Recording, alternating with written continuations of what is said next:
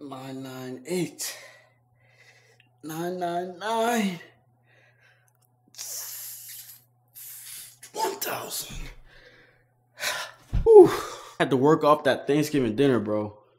I ate too much. What the heck were you guys eating? Huh? I want to know because see, I want to know what was on your first plate because your first plate is the plate that you get whenever it's everything you have to eat before you're full. So the first plate is always the most important. So what the heck was on your first plate? Let me know. But other than that, guys, I'm I'm a little happy today. I'm a little happy today. In my previous video, okay, we were talking about PlayStation Experience and how there's not gonna be a showcase, and I kind of said that it was probably gonna be an underwhelming just event in general. But I think I jumped the gun big time. You all know the Game Awards, right? Produced and hosted by Geoff Keighley, I think that's how you see. I always want to say Geoff, but it's pretty sure it's Jeff. So this year, it's actually the day before PlayStation Experience. And this has never happened. The two events are usually like about a week apart. That's what they were the last two years, but never back to back. So, you know me, you know me, I like to think, overthink stuff, but still, hear me out. This could mean something. But at the same time, it could mean nothing. regardless, here's what I'm thinking. Geoff has been hyping up the Game Awards for like a month now. And he has some tweets where he says, expect the unexpected, hashtag the Game Awards. Then there's my favorite where he says, we work long hours on the Game Awards, but some days we see a brand new game announcement trailer that inspires us. Today was one of those days. And under that tweet, somebody asks if we'll see that game trailer uh, come December 7th, and he just goes, yes. he just goes, yes. Listen, okay?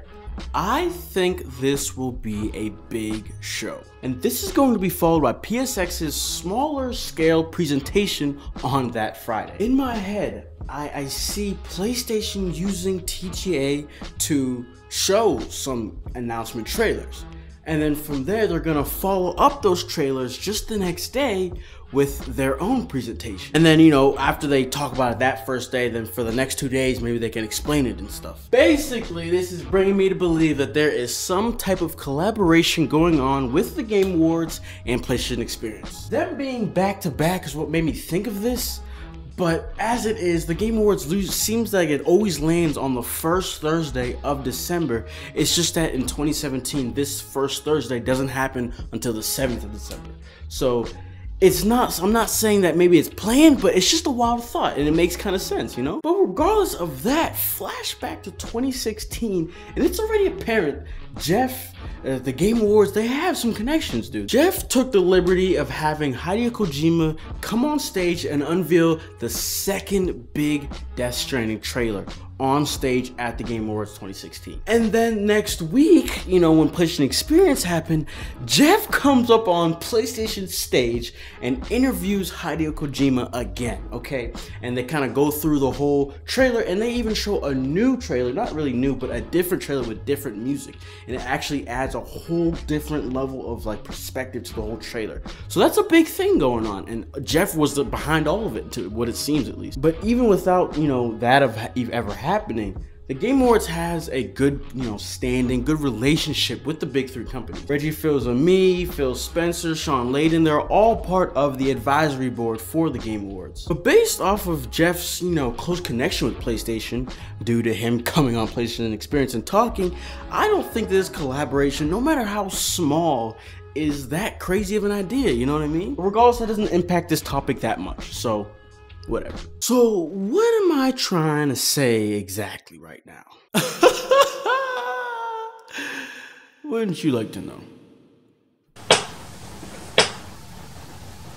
TGA X PSX 2017 is going to bring us some fun. And if you guys are following our, you know, this channel's All Stars 2 endeavor, be advised that I'm not talking about that specifically. Let's get down to the details. I'm not gonna spend too much time on All-Stars 2, but hear me out, okay, hear me out. Based off of the last video we had on that topic, I've stated that I have absolutely no clue what is going on with this game. Our new quote unquote insider is one of the two people that I'm only believing from this point forward. No other leak is gonna sway me anyway. And both of those people say that the game is a thing, but both of them have not told us much information at all, nor which which includes when it's going to be releasing, how far it is in development, none of that. They both don't say anything, they just say it's a thing. But in my opinion, this game needs to come by either next year or the next two years because past that, it's useless. PS5 is either coming soon or will be talked about by then. So what's the point? The game sold well despite its disaster of a you know development cycle. So that means that the whole concept behind the game is good. It just needs to be executed right. So if playstation has the right aspirations for this title showing the trailer at an event that all video game fans are going to be watching or have the potential to watch. Because think about it, PlayStation Experience, say you're a hardcore Xbox fan, maybe you don't care about it. But the Game Awards, this is for everything. This is for every company, anything game-wise. You will be watching this. So imagine dropping an announcement trailer for All Stars 2 at an event where everybody's eyes will see it. That's all I'm gonna say. But let it be known, okay, that I am not expecting anything All Stars 2 related between now or let's say between December 7th through the 10th, okay? None of that is being expected from me. That's on y'all if you want to. My actual sights, okay, are set on Japan Studio. We have word that they're working on something, and we know that this project is on the level of a Sucker Punch or Naughty Dog title. You know, in the past, you know, Japan Studio was just about making these smaller budgeted titles, but they give you these magical experiences. But with the recent success of Bloodborne and them acquiring some From Software developers, I'm telling you, Japan Studio has been hard at work for years now.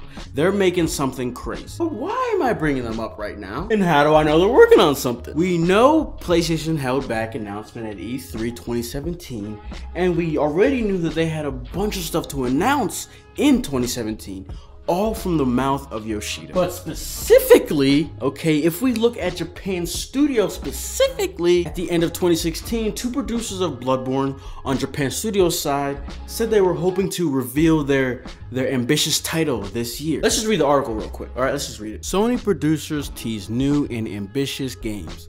Shuhei Yoshida wants 2017 to be a year of PS4 software. Skipping all the other stuff, it says Bloodborne producer Teruyuki Toriyama mentioned that while he can't provide details yet, the studio is working on ambitious titles and concepts for new games at the same time, asking fans to continue to, to support SIE Japan Studio in 2017 as well. Masaki Yamagiwa, who also worked as a producer in Bloodborne on Sony's side, joined in as well, explaining that he has kept working behind the scenes after the, the release of Bloodborne and hopes that in 2017 something he has been working on will come to fruition. Last but definitely not least, SCE Worldwide Studios president Shuhei Yoshida mentioned that he feels that 2016 has been the year of PlayStation hardware, with PSVR, PS4 Pro, and the slimmed down PS4 being released.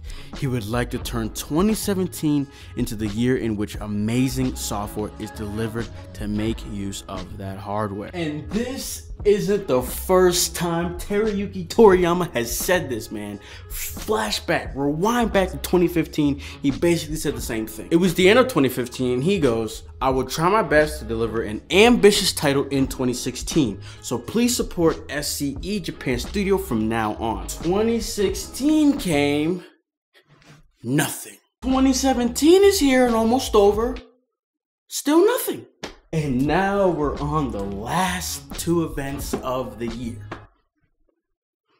Japan Studio, it's up to y'all. what y'all gonna do? Now, aside from that factor, okay, aside from, I guess you could say, the Sony concentrated standpoint, in the whole third party and general game wise standpoint, we have some interesting things going on. There was a guy who uh, previously leaked the DLC coming for Injustice 2. And now, mind you, I have Injustice 2, but I do not care for it at all. But I am kind of interested in seeing the characters. So he was saying Teenage Mutant Ninja Turtles and some other person was going to be added into, I think, Fighter Pack 3.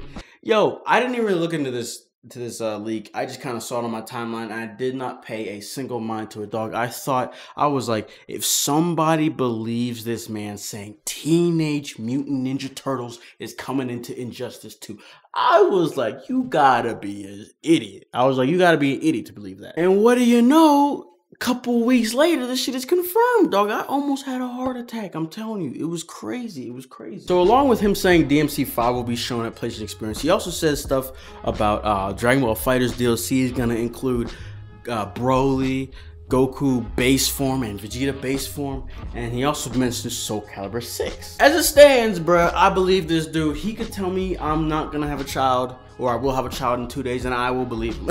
I will believe him. But in the part where he's starting to talk about Soul Calibur 6 is revealed, it rang a bell in my head. If some of you guys recall, our boy Varanidus had said that Soul Calibur 6 was a thing back in 2014.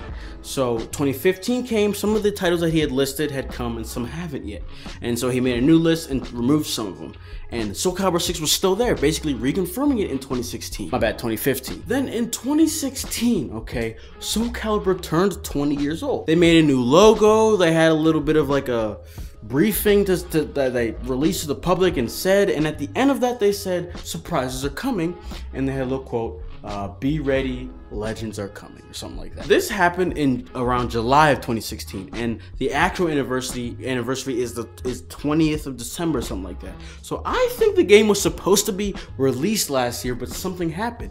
And if you look at the post of the leaker, he actually explains that whole situation. But also in that post, he basically says he's not sure of when it's actually going to be released or revealed, but he's assuming either the Game Awards or PlayStation Experience. All in all, with the potential releases or reveals of Japan Studios Project, DMC5, Soul Calibur 6, and all the other things that could possibly happen, like an Ape Escape 4 or a reboot, please. These two events are gonna have some stuff for us to have fun about and just be excited for, man. I, I think it's gonna be cool. Like I've been saying, I think what's gonna happen is gonna be a bunch of trailers shown at the Game Awards and then following up happening at PlayStation Experience where they explain it, you know what I'm saying, or give us more details or stuff like that. And then, of course, I think they're gonna have their own surprises as well. And the big thing, man, is don't forget Geoff's tweets because regardless, there's gonna be some big game announcements. He already said expect the unexpected. So there is literally some stuff that he has told us big that's gonna happen. So now it's just it's just this big all this information we just don't know what to do with it we're just excited for we don't know what but of course we don't want to get our hopes up too much because that's whenever you go into depression you know what i mean so whatever it is you know no matter what you're hoping for hoping to see keep it at bay. I don't want to say minimum, but keep it at bay so you don't get completely disappointed and you just hate both of them because you didn't get what you wanted. So just control it, you know what I'm saying? Be excited, but don't get out of hand. So other than that, that's all I gotta say. Hope you guys enjoyed, and I will see you all in the next video. All right, peace. You see, I'm waiting and they hating, and I'm sipping on my tea. Bad bitch walking past, may I stop you, please? And I'm hungry as a bitch, but this life ain't free. Life ain't if I'm trying to get this money, I can't really shake a tree. I be working, I be working, it's a quarter past three. When I stop, I'm gon' do the dash when you find a place where I be. Whipping with my dad when it comes to plotting that green. Yeah, flex, flex, flex, flex. Wearing all designer, hey. bitch you next, bitch you next. Flashing all the green, green. looking fresh.